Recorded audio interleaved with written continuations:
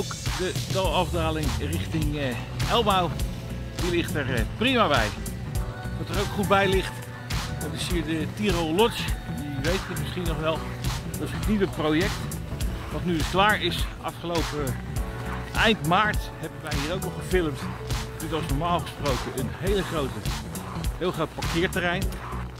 En ja, daar hebben ze nu geweldige appartementen, chalets, hoe je dat noemen mag, gebouwd.